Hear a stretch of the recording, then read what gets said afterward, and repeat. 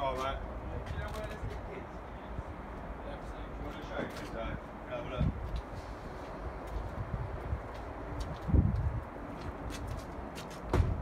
It's left side.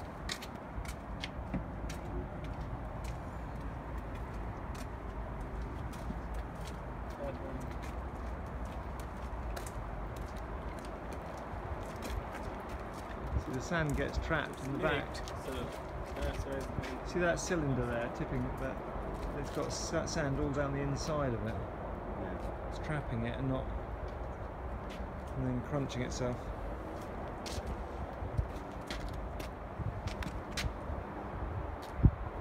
See it's getting that that cylinder's getting pushed across to one side because the material's trapped all down the inside of it.